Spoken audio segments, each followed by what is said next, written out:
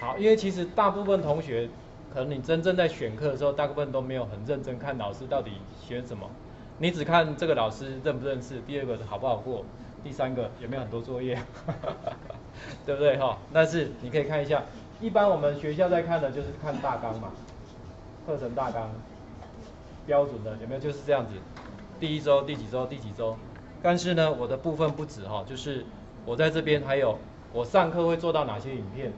哪些？因为我我也是上 A 一嘛，我一整个学年都上 A 一，所以会做到哪些内容，我们会把它放在这边。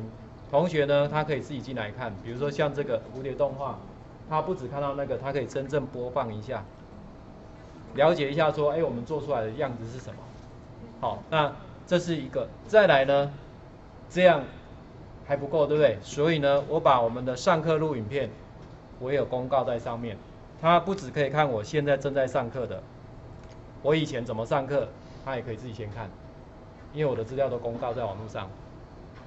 这样子，老师希望同学是愿者上钩嘛，对不对？这样比较好嘛，这样了解哈。所以这是我的设计的方式。那么另外一个呢，这边还有一个是，就是多媒体的，因为我这个学期也有开一个新课是多媒体的。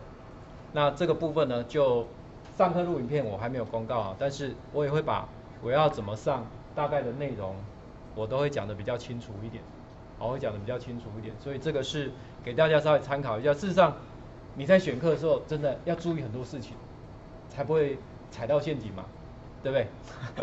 不然每次都要用加退选，这样也很累啊。